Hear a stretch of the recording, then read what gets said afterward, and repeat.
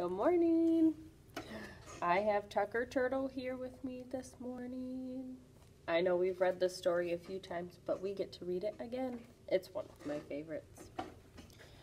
So, Tucker Turtle takes time to tuck and think.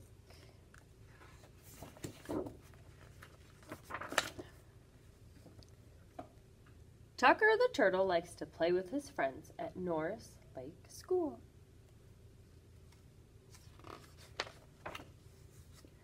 Sometimes things happen to make Tucker really mad or angry. It used to be that when Tucker was mad, he would hit, kick, or yell at his friends. His friends would get sad or scared.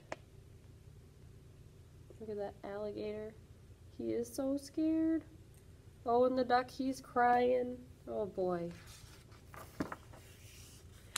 Tucker now knows a way to be a kinder turtle when he gets mad.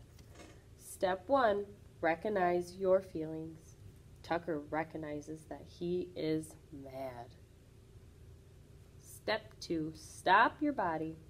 He can stop yelling and keep his hands and body to himself.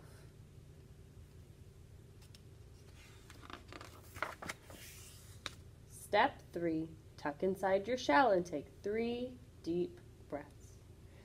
He can tuck inside his shell and take three breaths to calm himself. Step four, come out when you are calm and think of a solution.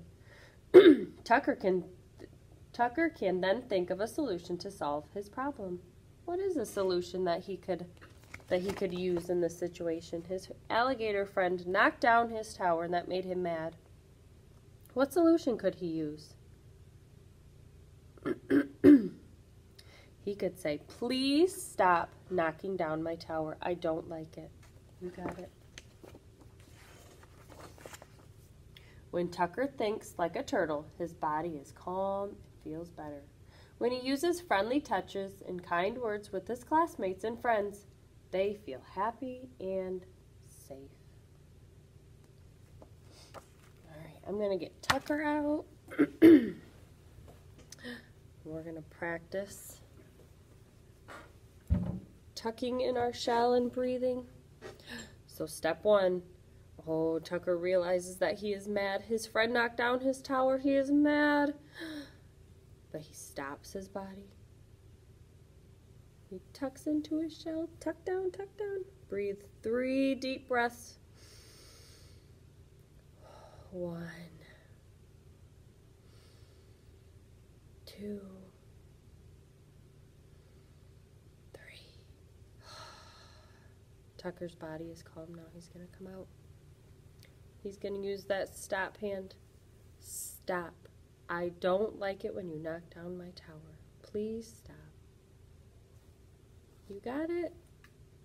All right, boys and girls, we'll see you later. Bye.